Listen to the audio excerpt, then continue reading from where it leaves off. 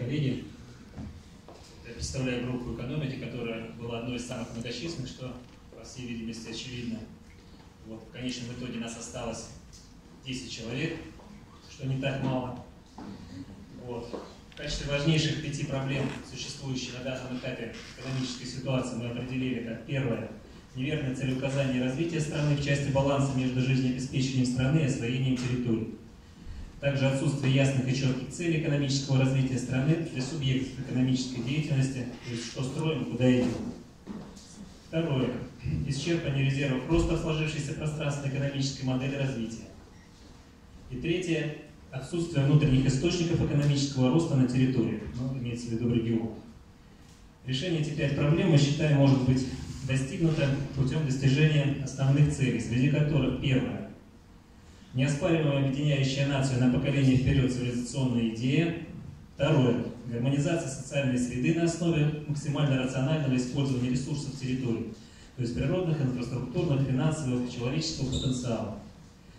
Критерий гармонизации при этом это демографический эффект. И переход от суматохи хозяйственной деятельности, где каждый сам за себя к согласованному, устойчивому развитию и функционированию. Третье Создание полноты условий для воспроизводства умного и здорового народа из поколения в поколение. В качестве четвертой цели обозначили как реализацию указа президента России номер 204 7 мая 2018 года. Пятое. Обеспечить достойный уровень жизни всех слоев населения. При этом большинство населения трудоустроены и получают за это достойное вознаграждение. И шестое. Стимулирование развития частного сектора экономики с одновременным снижением налоговой нагрузки. В качестве миссии группы определили как точка кристаллизации непристрастного экспертного сообщества в интересах пространственного развития экономики страны.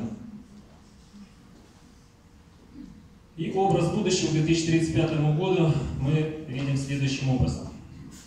В государстве построена федерация, форма управления – президентская республика. Все регионы самодостаточны по основным товарным группам. Излишки товарной массы при этом экспортируются. Основной движущей силой экономики является атомная энергетика, генная инженерия, информационные технологии. Создана передовая фундаментальная прикладная наука, улучшающая пространство страны и мира. Рынок хорошо развит, государство курирует только масштабные национальные проекты. Крупные предприятия промышленного и непромышленного секторов – собственности государства. Обеспеченность продуктами питания отечественного производства. Судный процент исключен из экономической практики.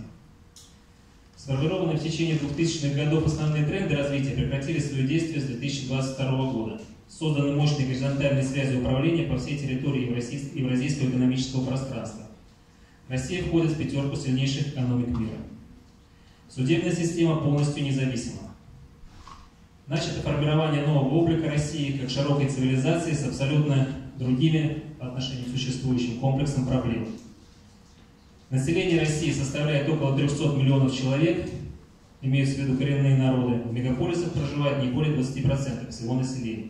СССР 2.0. Большая часть проживает в малоэтажных частных домах, небольших, комфортных, престижных населенных пунктах с численностью до 10 тысяч человек, которые могут по своему личному желанию совместно распоряжаться общественным имуществом. Каждая семья гарантированно обеспечена жильем по социальным нормам. Прирост населения и рождаемость на уровне 1950 года. Децельный коэффициент не более 7. На территории страны проживают добрые, честные, порядочные люди, реализующие свой творческий потенциал. Утверждены ценности альтруизма, человеколюбия, справедливости, меритократического социального устройства, что делает Россию местом, где человек счастлив и, безусловно, духовным лидером мира. Иммиграция в Россию со всех сторон Евразии, включая Европу, принимает масштабы переселения народа. Но на основании этого набросали дорожную карту, которую вы можете увидеть, я думаю, нет смысла зачитывать. Все.